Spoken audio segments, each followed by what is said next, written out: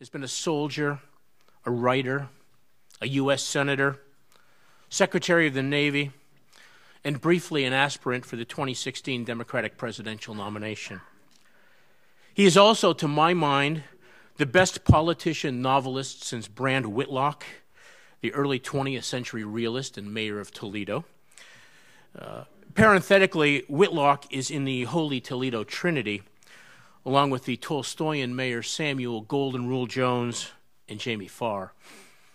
Uh, throughout, his, uh, throughout his writings, love for Jamie Farr, throughout his writings, throughout his career, James Webb has explored, with gimlet eye and felicitous pen, the culture gap separating those who live and work and struggle and love in the forgotten America, people who are anything but deplorable, from the privileged few who run the elite institutions in this country and who send the young men and now young women of the forgotten America off to die in inscrutable and undeclared wars.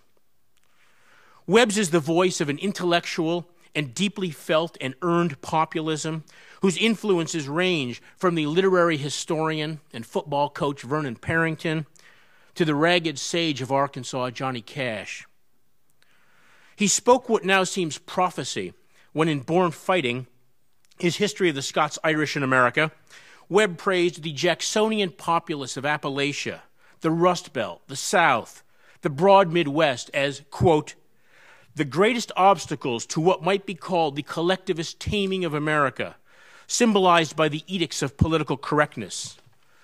And for the last 50 years, the left has been doing everything in its power to sue them, legislate against their interests, mock them in the media, isolate them as idiosyncratic, and publicly humiliate their traditions in order to make them, at best, irrelevant to America's future growth. End quote. They're not so irrelevant now, are they? If anyone happens to be looking for a Secretary of State or Secretary of Defense, uh, the two best candidates are in this room today Andrew Bacevich and James Webb.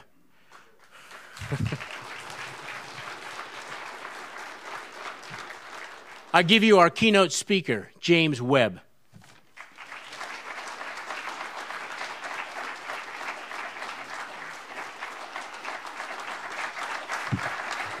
Thank you very much. Thank you very much. It's a, it's a pleasure to be with, with all of you today and uh, also to be here in support of the American Conservative Magazine, which I think is one of the fine uh, magazines, thinkers magazines in the country today. Um, I'd like to thank Bill Kauffman for, for that introduction. And I will, I promise you that he has not read my speech because I, there are a few things he said that I actually want to talk about today. Um, also, I don't know if anybody has mentioned this or not, but this is Bill Kauffman's birthday. Um, so, happy birthday, Bill. You know, this conference is, is about foreign policy, but the, the reach of the American Conservative magazine is far broader than that, and with what has happened in our political system over the past year. So I, I think uh, we should start with this. Uh, who were the uh, so called deplorable people who repudiated Secretary Clinton's insult and put Donald Trump over the finish line? Um, Bill mentioned a little bit about this in his introduction, to my surprise. But what were they thinking? As someone who unsuccessfully contemplated the presidency from inside the Democratic Party, let me give you a conclusion and some thoughts. The basic, unavoidable conclusion is that for a very long time, both parties abandoned the hardworking people out in flyover land who have done so much to make this country great. And it took an outsider, whatever his wealth and lack of government experience or credentials, to speak the truth, unencumbered by the boundaries of political correctness and the need to grovel before millionaires in order to finance an election. I attempted to do this as a Democrat. I quickly learned the power of pay to play, political machines in an era where it takes either a billion dollars or a lot of luck on social media. And with few exceptions, we know in this country that a hardwired elite now controls or dramatically influences our media, major media, our financial institutions, and in many ways our political system itself. You know, I look back on the turning points in this campaign. I think of a great friend of mine, a fellow Marine named Mac McDowell, who served in my company in Vietnam, and in fact, we were wounded on the, on the same day. Mac was very loyal to me, even though he was a, a conservative Republican. He runs a gun shop and a shooting range in Erie, Pennsylvania. And when I decided not to uh, continue the uh, attempt to uh, at the presidency, he sent me an email. He said, "This guy Donald Trump," he says, "the Republicans hate him, the Democrats hate him, the media hates him. I think I found my guy." so, I would like to salute Donald Trump for his tenacity and for the uniqueness of his campaign. Our country is deeply divided and will remain so for some time, but hopefully the results of this election will provide us an opportunity to reject a new form of elitism that has pervaded our societal mechanisms. This is not quite like anything that has ever faced us before in our history, at least in my reading of our history. It has many antecedents, but the greatest barrier, even to discussing it, has come from how these elites were formed, largely beginning in the Vietnam era, and how their very structure has minimized the ability of the average American even to articulate clearly and to discuss vigorously the reality that we all can see. Part of it was the Vietnam War itself. The only war with mass casualties, 58,000 dead and 300,000 others wounded, where our society's elites felt morally comfortable in avoiding the draft and excusing themselves from serving. As I wrote of a Harvard educated character in my novel Fields of Fire, Mark went to Canada, Goodrich went to Vietnam, everybody else went to grad school. This created among our most well educated and economically advantaged a premise of entitlement that poured over into issues of economic fairness and obligations to less advantaged fellow citizens. I know many of you know uh, the writings of uh, writer and lawyer Ben Stein. Years ago, he wrote of his years at Yale Law School with Bill and Hillary Clinton, quote, that we were supermen, floating above history and precedent, the natural rulers of the universe. The law did not apply to us. The uh, second impact was the Immigration Act of 1965, which has dramatically changed the racial and ethnic makeup of the country while keeping in place a set of diversity policies in education and employment that were designed under the 13th Amendment to remove the badges of slavery for African Americans. And this is a policy that I have always supported and continue to support the African American affirmative action programs. But this policy, designed to remove the badges of slavery for African Americans, was gradually expanded to include, to include anyone who did not happen to be white, despite vast cultural and economic differences among whites themselves. More than 60% of immigrants from China and India have college degrees, while less than 20% of whites from areas such as Appalachia do. To be white in the law and in so much of our misinformed debate is to be specially advantaged, privileged, as the slogan goes, while being a minority is to be in the law disadvantaged. Frankly, if you're a white family living in Clay County, Kentucky, the poorest county in America, whose poverty rate is above 40% and whose population is 94% white, wouldn't this concept kind of tick you off? Wouldn't you see it as reverse discrimination? And wouldn't you hope that someone in a position of political influence might also see this and agree with you? And part of it, finally, is that diversity programs, coupled with the international focus of our major econo- uh, educational institutions, have created a superstructure, partially global, that on the surface seems to be inclusive, but in reality is the reverse of inclusive. Every racial and ethnic group has wildly successful people at the very top and desperately poor people at the bottom. Using vague labels about race, ethnicity, might satisfy the quotas of government programs, but they have very little to do with reality, whether it's blacks in West Baltimore who have been ignored and left behind, or whites in the hollows of West Virginia. Behind the veneer of diversity, there is an interlocking elite that has melded business, media, and politics in a way we never could before imagine. And many of these people also hold a false belief that they understand a society with which they have very little contact. And nothing has so clearly shown how wrong they are than the recent election of Donald Trump.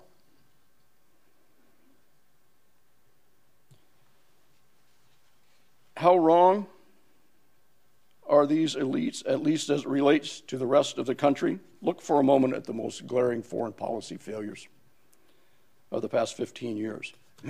Ask yourselves how could one Republican presidential administration have made such an incredible strategic blunder as the invasion and occupation of Iraq, only to see the next Democratic administration make an equally grave strategic blunder, at least as bad and possibly worse, by initiating, initiating what was called the Arab Spring, unilaterally intervening in Libya and instilling an inflammatory foreign policy concept known as humanitarian intervention, giving a president, any president, the power to unilaterally intervene anywhere under the euphemistic rubric of responsibility to protect. Responsibility of whom? To protect whom? At whose risk? And at whose benefit? The answer is that in too many cases, the masters of our foreign policy decisions are no different, not only in foreign policy, but in a large percentage of the issues that face the country. I'll give you an example. I was very proud of developing a policy where we were able to open up the military junta that was uh, governing Burma and to bring Burma, now Myanmar, back in from the, in from the shadows into a, an expanding uh, program that eventually I think will bring us to democracy. I had visited Burma uh, as a private citizen before I became in the Senate. When I became to the Senate, and I, when I started in the Senate, I got my staff together and I said, we are going to focus on changing the relationship, strengthening our relationship in Korea, Japan, Vietnam, Thailand, Singapore, and to change the formula in Burma. Um, we figured out a way to do that through intermediaries. It took seven months. We started this before Barack Obama was elected and before the so called pivot to Asia had begun. Um, I was the first American leader to visit Burma in 10 years. I was the only American leader who ever was able to meet with the uh, leader of the military junta, General Than Shwe. I met with uh, Aung San Suu Kyi at the same time as well. And so we began a process where Burma was opened up. After I left the Senate, um, a prominent think tank here hosted an evening dinner on the future of Burma. On one side of this table, there was the ambassador to Burma slash Myanmar back for a visit. On the other side was the Southeast Asia expert from this think tank and us other people, and some of us who had participated were around the table. But the ambassador started off with, with this comment. He said, You know, uh, if a Republican was president, he pointed to the individual sitting across from him. If a Republican was president, you'd be sitting here and I'd be sitting there. There's really no difference in terms of how the foreign policy uh, programs uh, were uh, to be looked at other than the titular notion of which party you were in. Um, the Democrats, the Democratic Party, unfortunately, uh, with respect to these issues, moved away from working white people. Uh, the, what the party, the party of Franklin Roosevelt, uh, that had championed the rights of working people, the party that was my grandmother's, uh, Franklin Roosevelt being my grandmother's favorite politician, the individual that pulled my mother's family out of poverty after my grandfather died, and after three of seven siblings that my mother had had died in childhood of childhood disease, and had opened up an ammunition factory in North Little Rock, where my grandmother got a job making artillery shells. That party uh, descended from the party that had championed the rights of working people, regardless of race, creed, gender, or any other differentiation, to the point that it made white, white working people their most convenient whipping posts, particularly white males. It's clearer now than it was 10 years ago when I was trying to put this on the table. When I was running for the Senate in 06, we had a, uh, that's what they call it, a candidate school. The Democratic Senate Campaign Committee had us come up to Nantucket, and they got those of us who were candidates and talked us through how to, how to appeal to different sections of the electorate. And they got to white working males, white males. How do we get the white male vote? And they put up this legislative uh, item, this this bill, that bill, you know, minimum wage, et cetera, et cetera. And, you know, I, I listened to this, and I, when, when they were done, I said, you know, look, I, I, I was in the Reagan administration. You know, I'm a, I'm a Reagan Democrat. I, I know how the Republicans are approaching this. I know how you're trying to approach this, but here's your problem white working people don't vote for you because they don't think you like them. And that became clearer and clearer uh, over the past 10 years.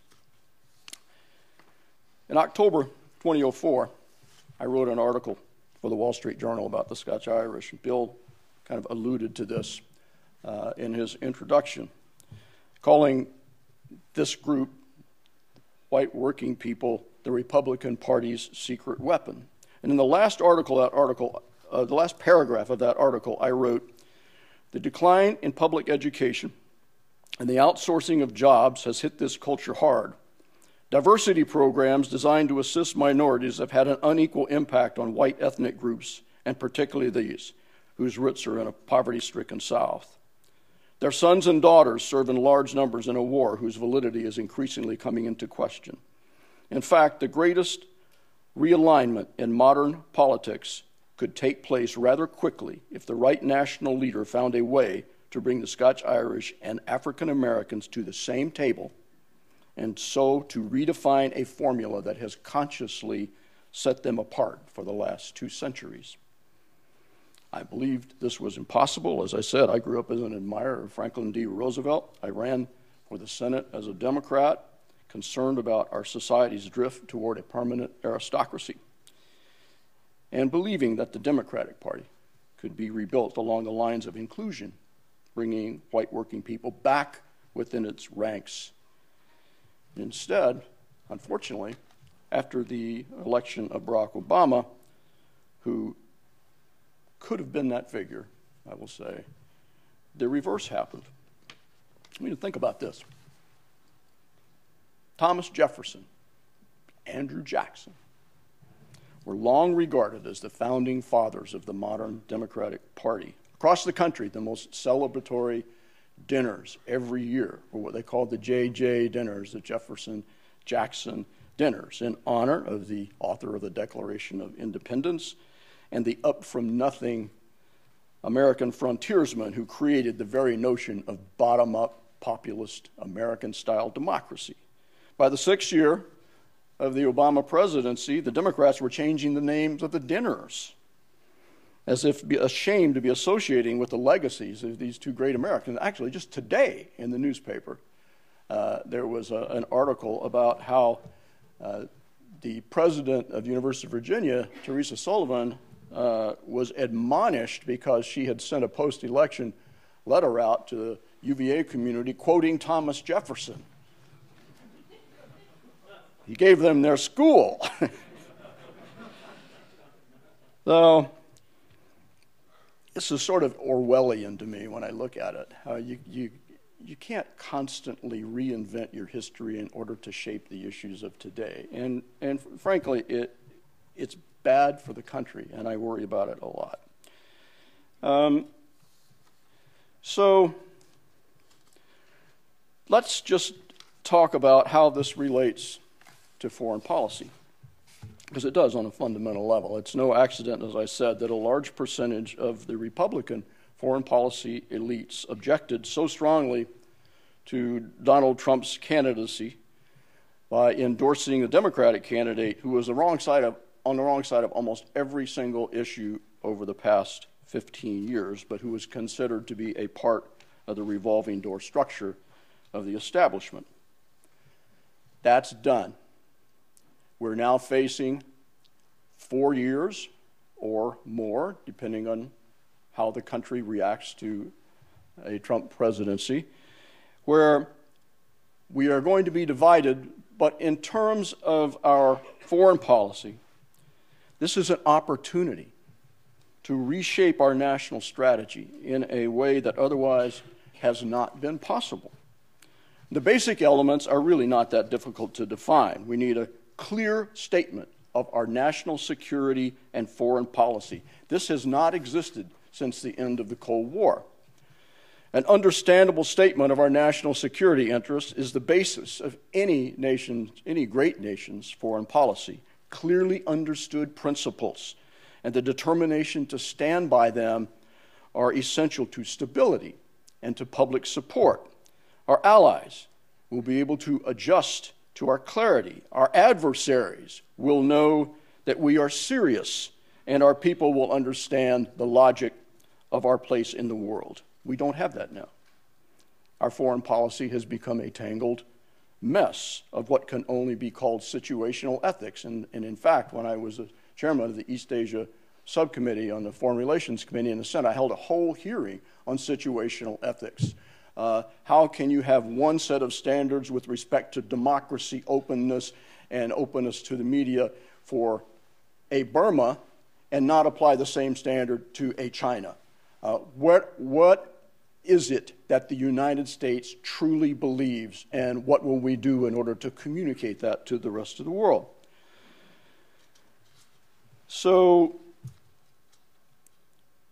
tell me what our national interest is, how we are going to defend it, how we will know we have accomplished our mission, and if you can do that, you have a strategy. Once the Cold War ended, we lost our way, and we ended up and continued to be tra- continue to be trapped in this never-ending, ever-changing entanglements, particularly in the Middle East, beginning with the Pandora's box that was opened with the invasion of Iraq, and continuing through the illogical and still fermenting nightmare of the Arab Spring. I was one, obviously, who warned before the invasion of Iraq that our entanglement would destabilize the region, empower Iran, and weaken our influence not only in the region but in other places as well. The historical record is unfortunate but clear regarding the, this invasion. I don't need to um, expound on it in greater detail today. I do want to take some time, though, to discuss the implications of the intervention in Libya. It became sort of a sad allegory of everything that has been so wrong for America in that part of the world. No direct national security interests were involved in Libya.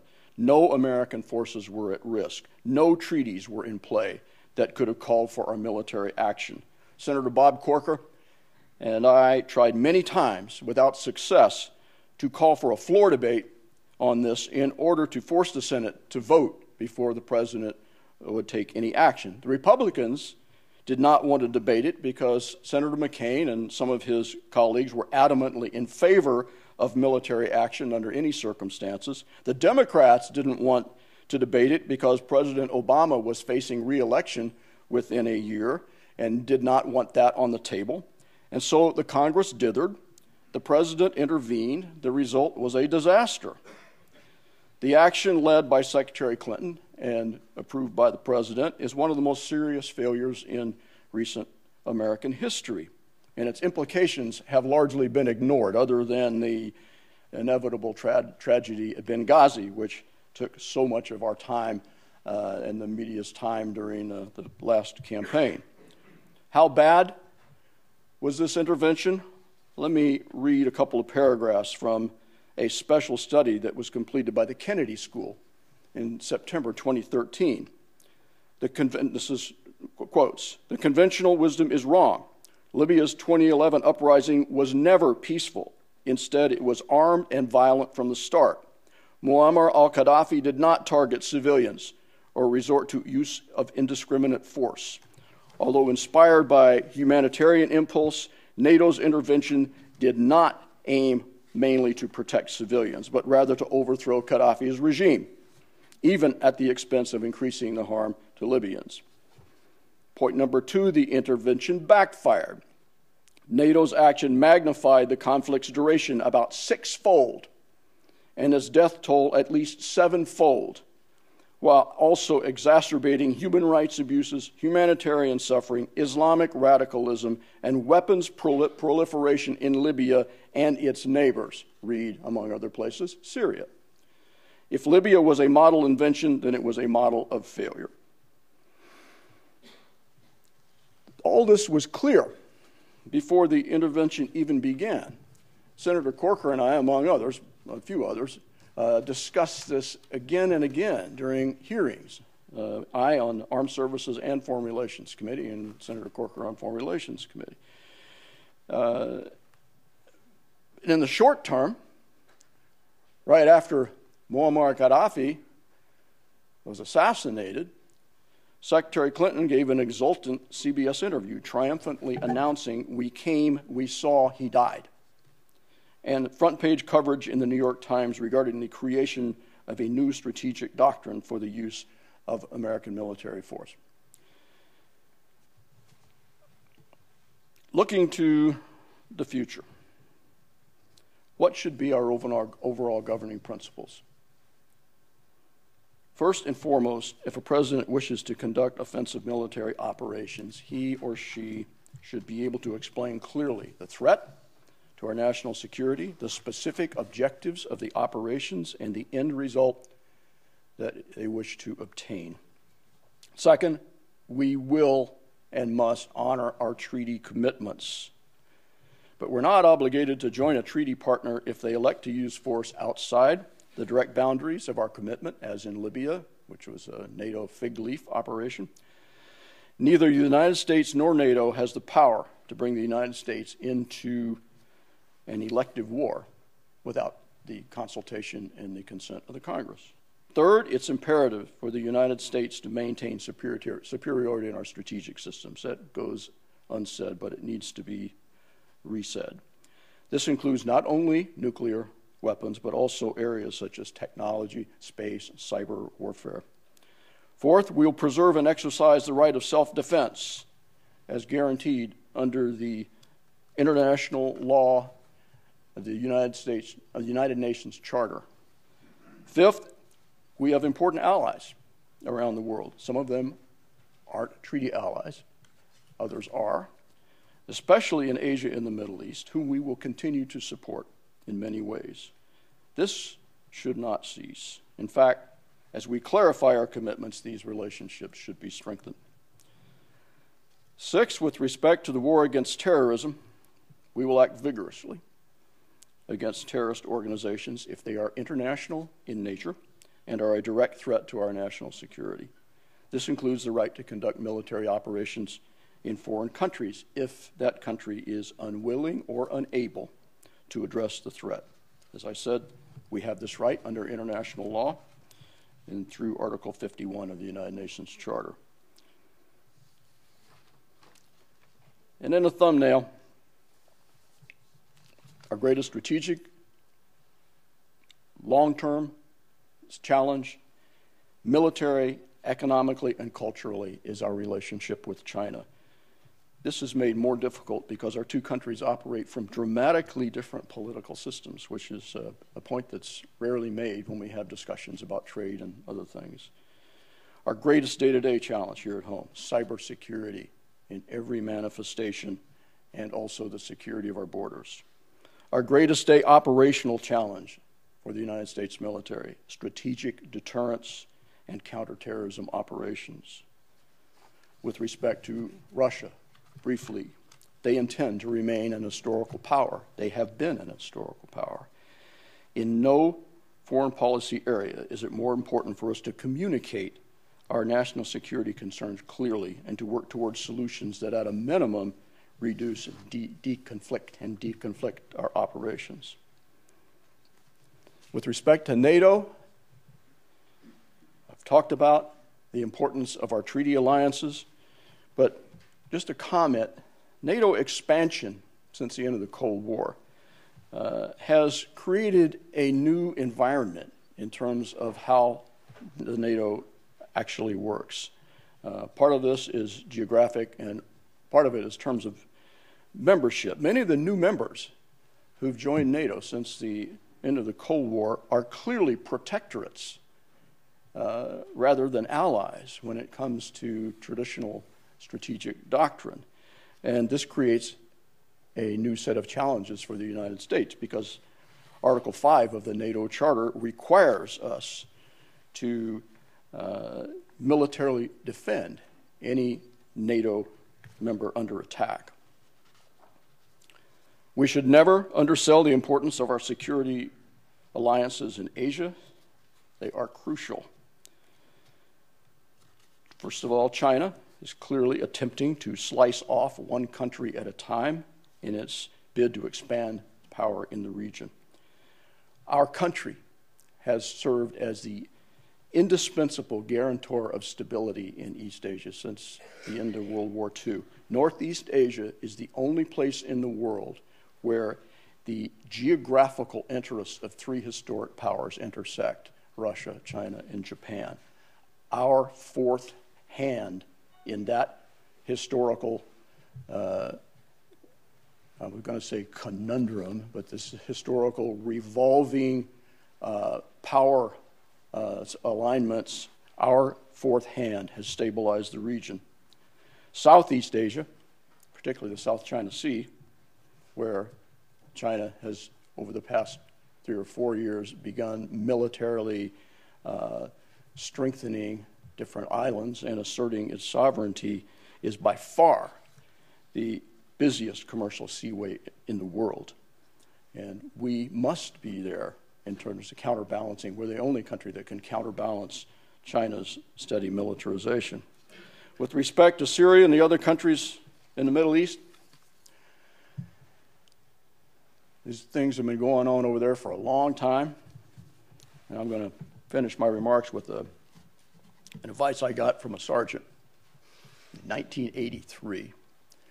And I was uh, covering uh, the Marines in Beirut for the MacNeil Lehrer News Hour. We're out on a, an outpost. And up on top of a, the roof of a building, in front of us, there was a Druze uh, position. Underneath us was a Lebanese army position. The Druze and the Lebanese got into one of these like intramural firefights, one of these arguments, shooting back and forth. The Lebanese soldier was shot. The Marines took some rounds. The Marines started shooting back. Um, so we had the Lebanese, the Druze, the Marines, and then we had one of these militias, we didn't even know which one, started joining in uh, over at one side. And then the Syrians came over uh, on a ridge line, and according to the Marines, were shooting at us with uh, 25 millimeter machine gun rounds. It was sort of a free for all. And the sergeant I was laying next to underneath this wall said, Sir, never get involved in a five sided argument.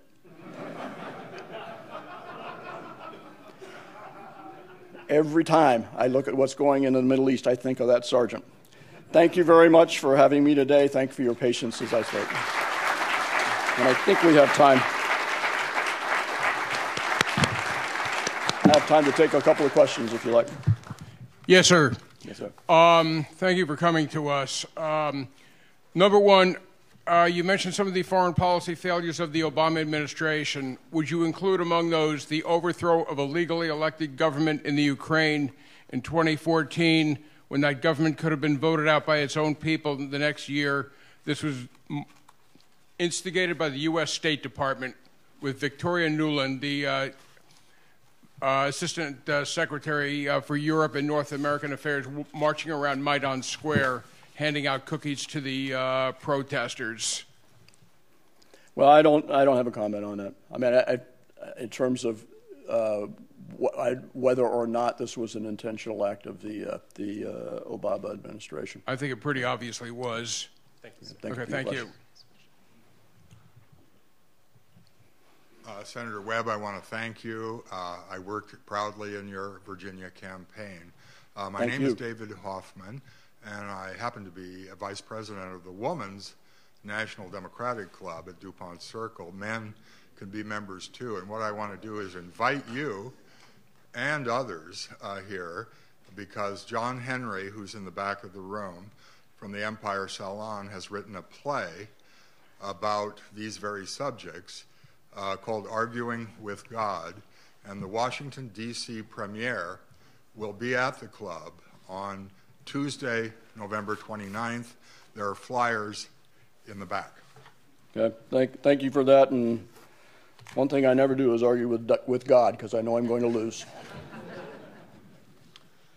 Uh, thank you, uh, Senator Webb. I've been a fan of yours for uh, many, many years now, going back, well, probably to when I was a teenager and you were in the Reagan administration. Um, I wonder if you could speak, since you uh, have such a focus on the challenge uh, China poses in the long term uh, as well as in the short term to the United States, on the work of Graham Allison and his notion of the, the Thucydides trap uh, and the great difficulty that a status quo dominant power has dealing with a rising power that has every incentive to challenge the, the terms of the international system can you just speak to uh, his thesis and, and what your view is on that?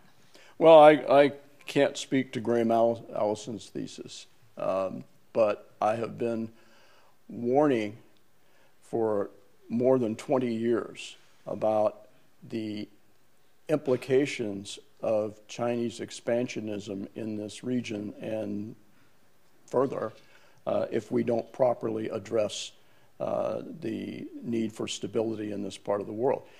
And if you look, for instance, let me give you two, two uh, island issues that I think clearly demonstrate uh, what the Chinese are looking to do in the long term in the region and what the implications are. The first is the Senkaku Islands, which are between Taiwan and Japan, but actually are very close to Okinawa uh, which, you know, the, the Ryukyu Islands, and which the uh, Chinese have never recognized as being a sovereign part of Japan. And the other is further down in the South China Sea, the militarization that, that has taken place, uh, particularly over the past four years. These are clear indications of expansionism. And we have been moderately uh, responsive, but not in a way that I think uh, is, is going to need to happen in the future. In the Senkakus, um, when I was in my final debate went running for the Senate in October of 06, I was uh, running against an individual who was an incumbent. He was on the Foreign Relations Committee. We got to ask each other one question. So I asked him, What do you think we should do about the Senkaku Islands? And there was this like silence. And then there was a up, like up there where you see those lights, there was a press box, and I could see all the computers going on, you know, the Google hitting, what's Senkaku, you know, how do you spell this thing, you know.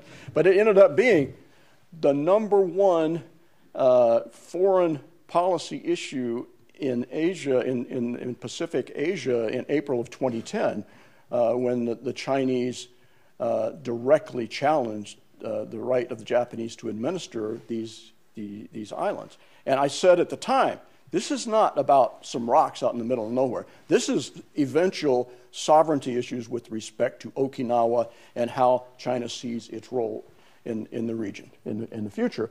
Um, they've done the same thing in the South China Sea.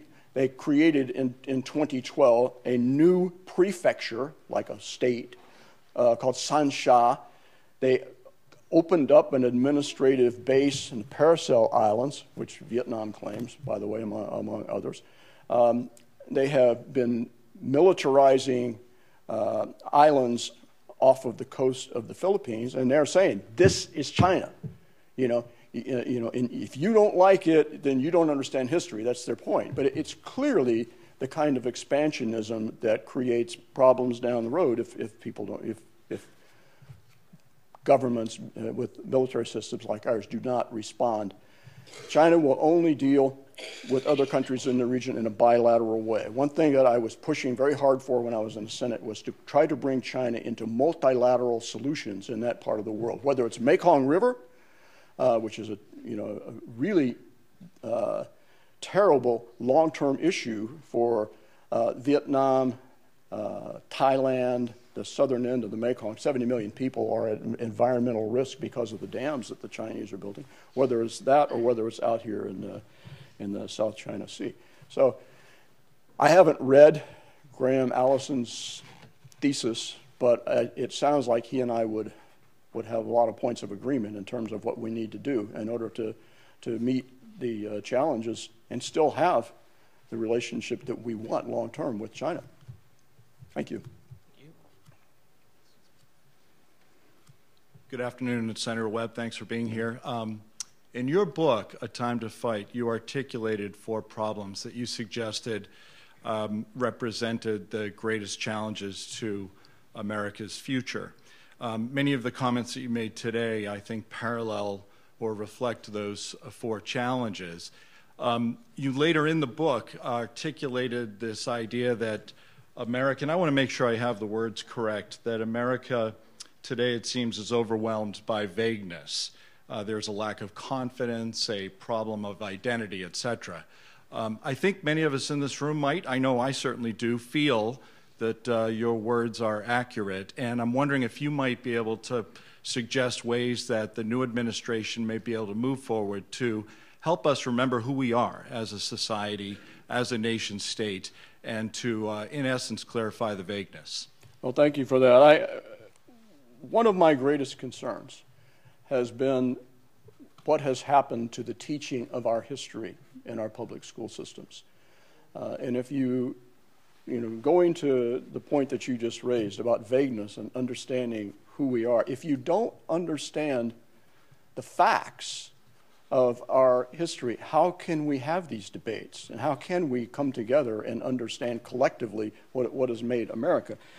I'll give you uh, a, a, small example of that. The, the history of the American South, you know, it's, it's, it's, almost impossible for us to talk about the slavery issue and these sorts of things uh, because it's so contentious. And, and, uh, and yet, um, if you look at the history of the American South, um, I, had a, I had a high school junior visit me a couple of years ago, and she was studying this in, in high school. And, and I said, How are you studying? You know, what, what do you where are you? And she said, we're studying slavery in the, in the Civil War. I said, what percentage of the whites in the South do you think owned slaves?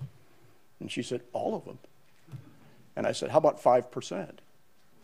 Uh, 25% had anything to do economically with the system. That's by John Hope Franklin's numbers, the most eminent black historian.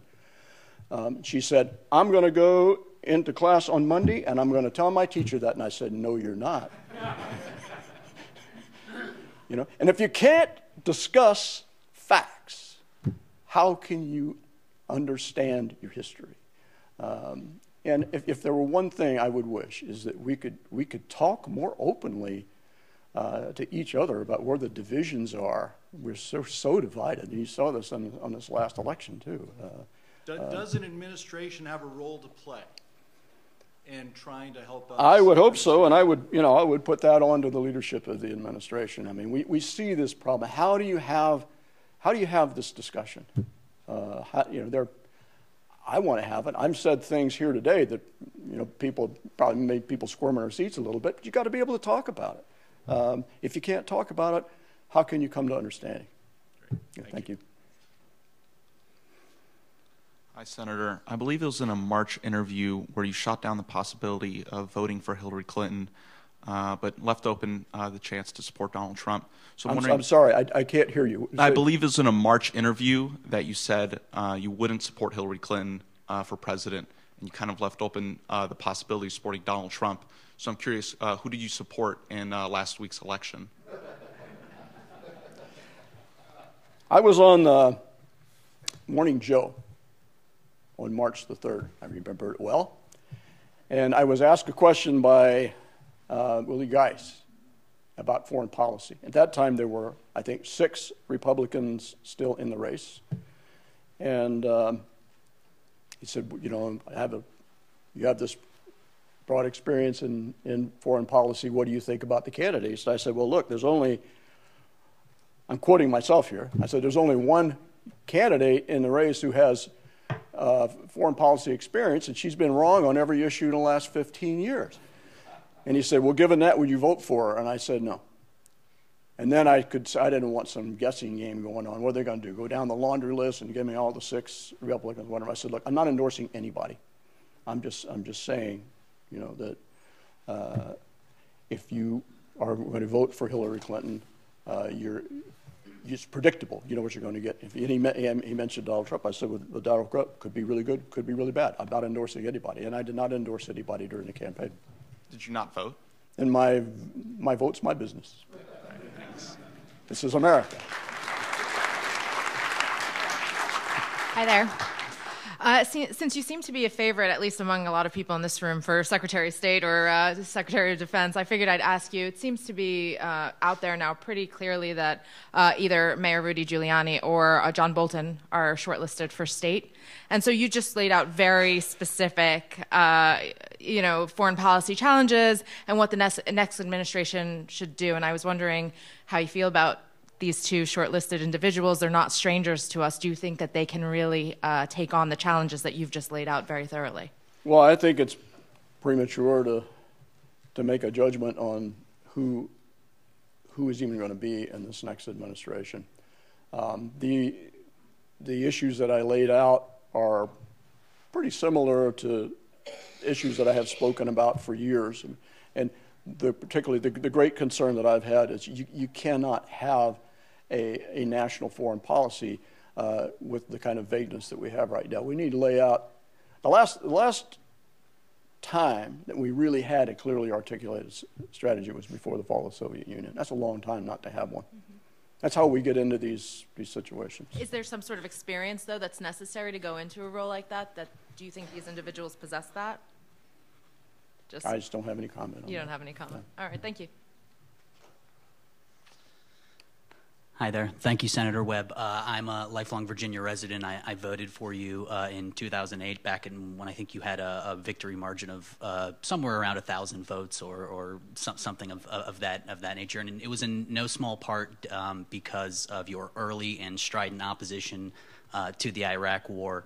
Um, in hearing you talk today, I am wondering if you have considered, uh, at least considered, the possibility that when you examine uh, the statements that Donald Trump has made uh, about these interventions back when they were being considered, combined with uh, the people that he is surrounding himself in his administration. Okay, I got, I got you. I got you. Now, let me let me just say this first of all, to explain my view of how this election ran in 2006. Okay?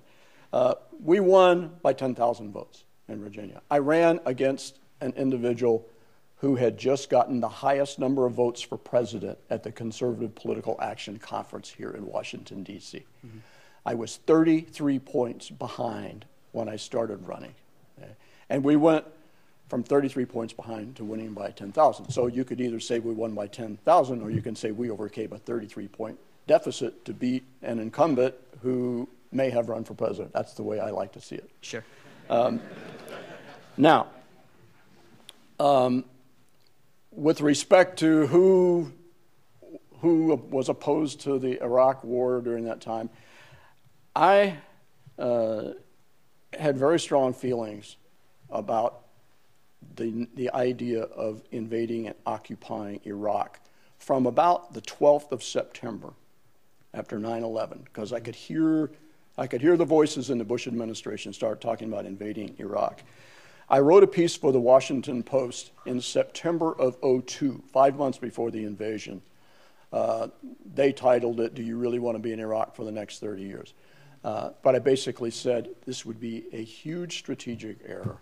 Um, and I, you know, that was a hard, as someone who grew up in the military and, and had a lot of military friends, uh, that was a hard article for me to write because I was basically calling out a lot of people that, I, that I cared about and respected. And it, it was, I think, the correct position to take.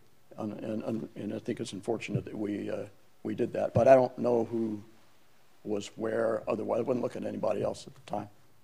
I'm just wondering if you've uh, contemplated the possibility that a Trump administration would be far more stridently interventionist than seems to be. I, we'll have to wait and see. I don't really don't want to comment on that. Okay, thank you. Senator Webb, thanks for uh, taking my question. Uh, my name is Jesse Campion. I'm a uh, military veteran, former uh, infantry officer in the United States Army.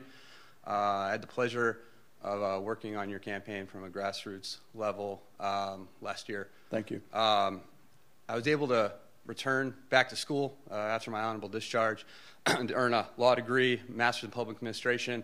I'm currently uh, working towards an LLM uh, in national security law Georgetown Law, all on a bill that, that you championed, and I don't think it's recognized enough um, in America and I think with the veteran community. Um, I've admired your career for, for years. Um, I think you would make a phenomenal uh, Secretary of Defense um, under the Trump administration. I think you'd strike an incredible balance. Um, and there's been a, an incredible rumor going around that you are being considered for it. Um, I think as an infantryman, um, you would fully understand the plight of the American veteran and American soldier uh, prior to making that decision, sending them over.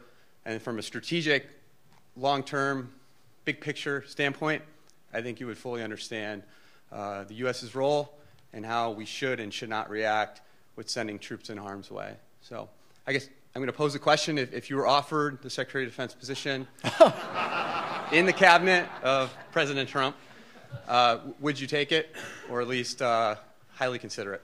Thank you. Well, thank you for your, your service. And let me say one thing about the, that kind of, because it's getting to be a well worn phrase, but one infantry veteran to another, thank you. I know what you went through. Uh, the GI Bill, I'm very, very proud of what we were able to do there. And I wrote that, I, I was a committee counsel in the House Veterans Committee for four years, right after I finished law school uh, and after I left the Marine Corps.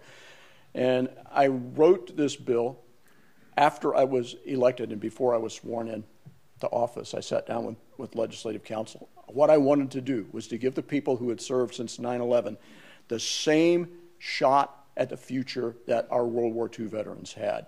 Pay their tuition, buy their books, give them a monthly stipend. That's what we did for our World War II veterans. And every dollar, every tax dollar that was spent on the World War II legislation was returned fivefold by the successful careers that they had. So that was my motivation. And also, it was my idea that we could develop a leadership prototype in terms of how to get things actually done in the United States Congress. I introduced the bill, and it was not an easy lift. The Bush administration opposed this legislation until the day it was signed. I wasn't even invited to the White House when he signed it. Not really that I, that I cared. Um, you know, it's hearing from you is what, what makes, the, makes it uh, so special. Um, but we, what I did was I went out and I, I got two Republicans, two Democrats, two World War II veterans, John Warner, Frank Lautenberg, two Vietnam veterans, Chuck Hagel and myself.